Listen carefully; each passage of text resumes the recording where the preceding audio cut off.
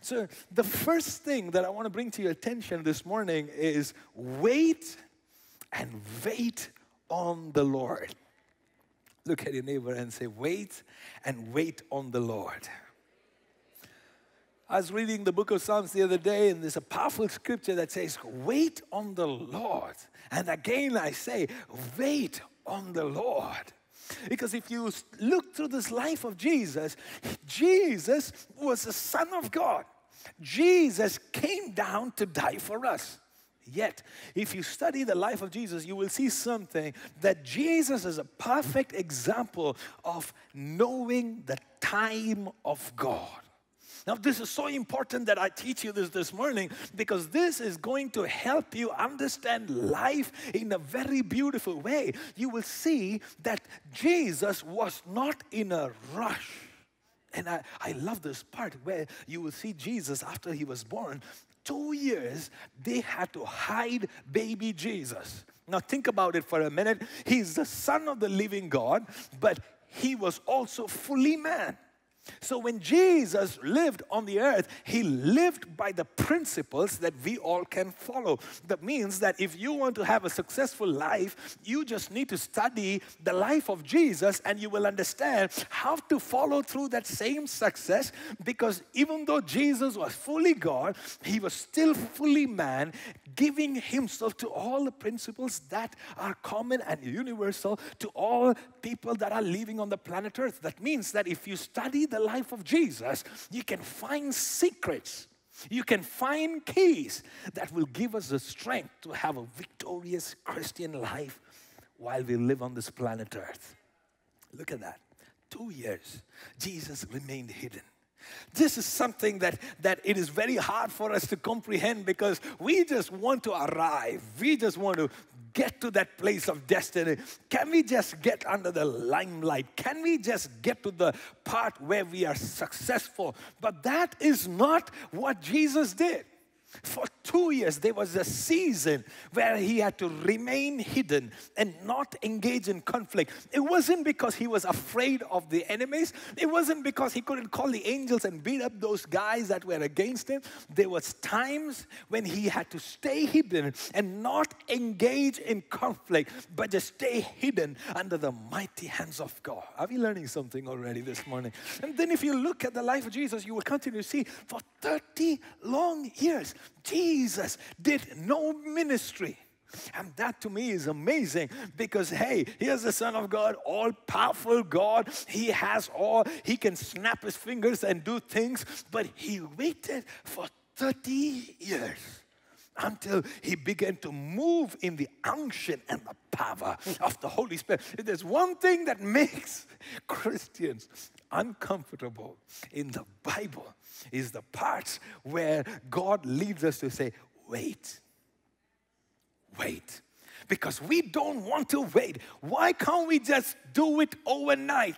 Because when we wait, what we don't realize is that God is moving things into position even without our eyes see them God is moving things around you, aligning things. You don't want to get to the place of destiny even before God has set up your place. There are people that need to come by your side, there are elements that need to be there in order for you to go to the next level. Even before that is prepared, you cannot overstep your boundaries. You cannot overstep your destiny. One of the biggest things that you can do as a child of God is to say, God, I'd like this thing to happen today, yet not my will, but yours be done.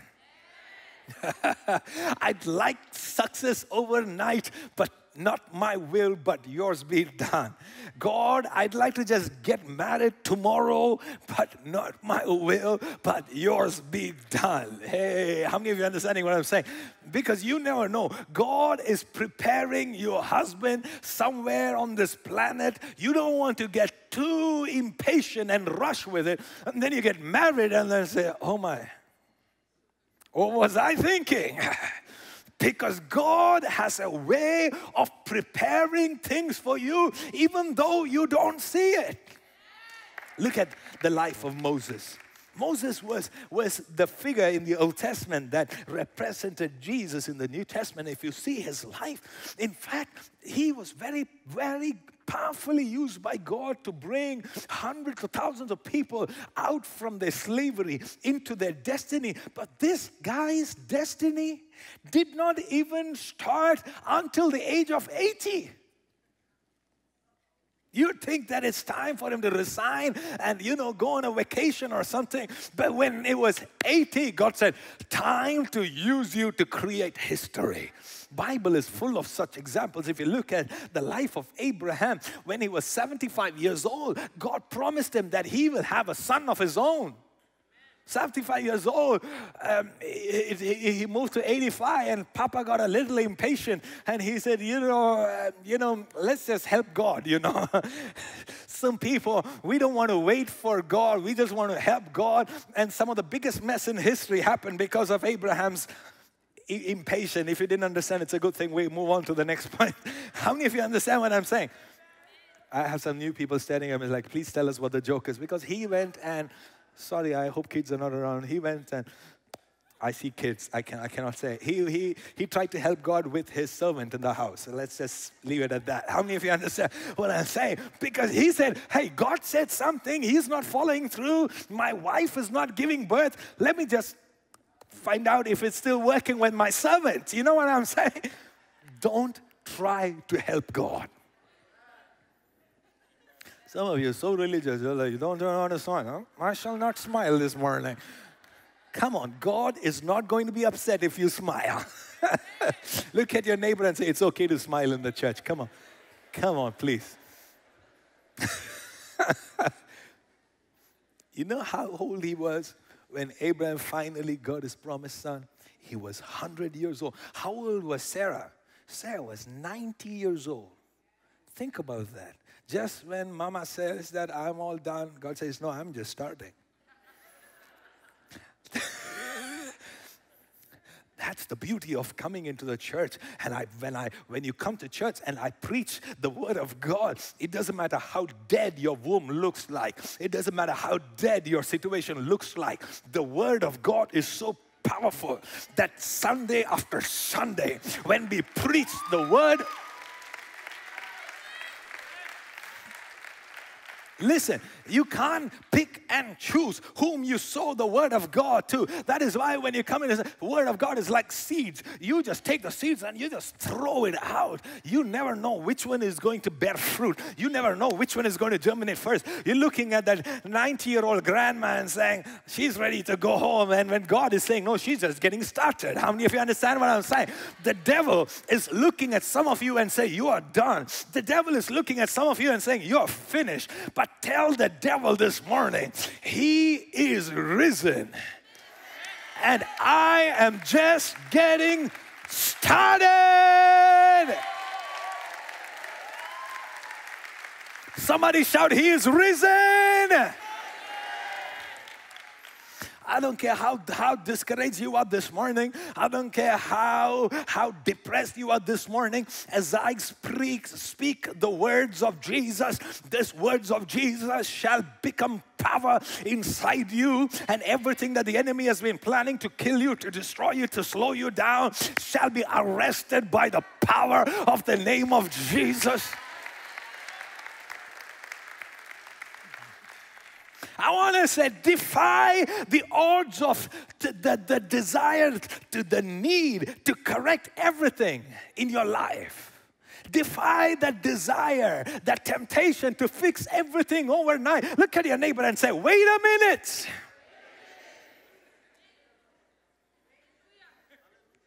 Wait a minute. You don't need to see everything happen overnight. Just wait a minute. You're going through trouble, but just wait a minute. You're going through disaster, but just wait a minute. The bank has bad news for you, but just God wants to say, just wait a minute. Hey, you don't see things happening, but there is something that is happening inside you. Mama Sarah, you don't see anything happening, but there's something inside you that is smaller than a small beans that is growing inside you. You don't see it, but God, the hand of God is still working today in 2016 in Montreal. God's not dead, He is alive.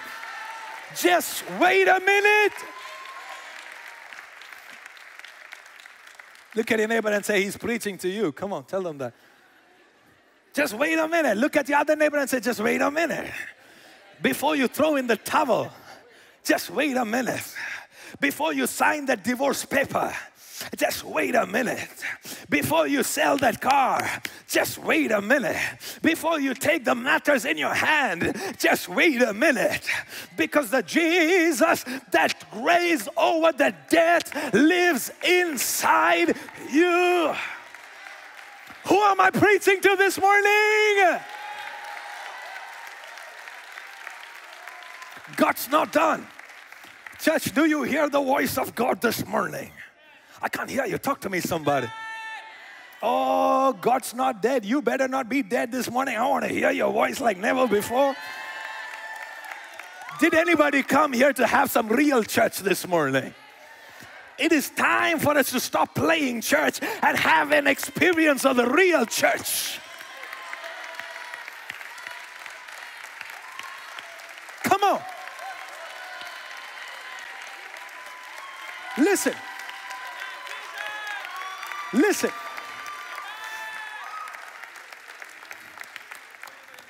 This is not a time for you to quit because this is a time for you to see the glory of God. You know why? Because if you will wait longer, you will see. Oh, I love this verse. Jesus went up to the cross, the Bible says, for the joy that was kept before him. He was going to be nailed on his feet, on his hands, crowns on his head, a crown of thorns on his head. His, his back was going to be torn apart with whips with nails on it. Yet, the Bible says, for the joy that was kept before him. You know what the joy was? The Bible says when Jesus went through what he was supposed to go through, the Bible says he put all things under his feet. Ooh, Jesus had authority over everything because he went through the process. Don't skip the process. I know you don't like it. I know it's not comfortable. I don't like the fact that I feel like I'm down. But God says, stick with the process. Go through the cross. Go through the dying. Go through that bleeding. I know your heart bleeds like, like nobody else can understand, but I assure you this morning that if nobody understands you, even if your best friend doesn't understand you, even if your mother doesn't understand you, there is one man who died for you on the cross that bled a thousand times. He understands you 100%. Wait on Him. And the Bible says he put everything under his feet. that means I'm going to, the devil wants you to sulk, the devil wants you to cry, the devil wants you to discourage, he wants you to go into depression, he wants you to lock yourself in the bedroom and not see anybody else. He just wants you to just get out of the sunlight and he just wants you to isolate yourself. But tell the devil, I'm coming out because I know that if I can just go through this cross, if I can go through this valley, talk to me, somebody. If I can go through this process, if I can go through this darkness, I am coming out, and the Lord shall put my enemies under my feet. Hey. That is why in the Bible, you don't praise God after you get the blessing, you praise God before you get the blessing. Because you, you got to learn to move your feet in the church. Some of you are just waiting for club lights and to walk into some pub in Montreal to dance, but the best place to dance is in the house of God.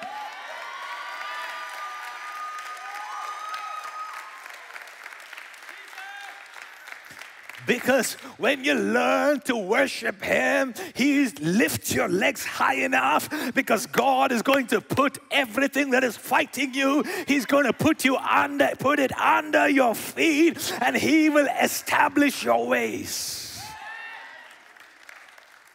Wait on the Lord. It's not comfortable, but wait on the Lord. It's uneasy, but wait on the Lord. It's sleepless night, but wait on the Lord. And again, I say, wait on the Lord. Is anybody hearing what God is saying this morning? Wait on the Lord. This is why you brought me to church this morning, Lord. I thought he, you're going to take me to church and you're going to say that, you know, breakthrough is coming or, or, that, or that my visa is coming or that my promotion is coming or that, or that the, the handsome guy that I was waiting on for all this while, he's going to say, he finally come and ask me out. And, and, and this, this pastor guy is just saying, wait.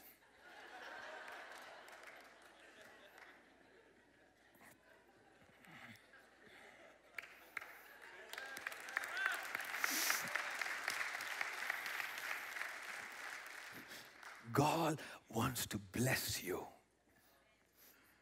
But He's going to do through it, not when everything is at peace. He wants to bless you through a hostile environment. Everything looks crazy and He's going to bless you. Oh, how many of you understand Psalms 23? If you've read your Bible, you'll see, oh, the Lord has a way of preparing a table before your enemies. He's not waiting for your enemies to go so he can prepare a table. He's waiting for the enemies to come so he can prepare a table before the enemies. You are going to have your enemies surround you and you're going to have a chicken and you're going you can't touch me because I know who is on my side. Hey, Come on, somebody. Come on, somebody. Don't wait for your problems to finish. You are going to see the glory of God in your problems. How many of you understand what I'm saying? You're waiting for the problems to finish to go to church. No, no, no, no, no, no, no, no, no, no, brother. No, no, no. You go to God now. You go to God because now is the hour. You don't wait for things to get right to go to God. You don't wait till you're 60 to go to God because you have no idea. You may not be even alive then. You need to seek God when you're able to. You need to give God your best, not your worst. You need to give God the best of your youth. I was talking to a young man who was working for the Microsoft, and I was telling you, I said, your best of your youth is going to companies that don't really care for you. They're just going to use, and whoever, Bill Gates or whatever, he's going to get richer and richer. Why don't you give your best to Jesus? Jesus is the only one who can take little or nothing and use you to be a generation changer enough of depending on everybody else around you. It is time for you to be a history maker. You know that little boy that went to Jesus? That little kid with five loaves? He didn't have too much. He just had five loaves of bread and two fish. God used that little to feed a generation, to feed a nation. Because no matter how little you have, when you come to Jesus, He has a way of taking nothing and making everything out of it. This morning, it is time for you to try Jesus. This morning, it is time for you to stop living that lie of the enemy. It is time for you to stop listening to the deception of this culture. I'm sorry that religion disappointed you. I'm sorry that many people that you looked up to in church disappointed you. I'm sorry that, that there's too much religion that has caused a bad name to Jesus. But I want you to know, irrespective of who has failed you, Jesus is the same yesterday, today, and forever forever. And his ways are perfect.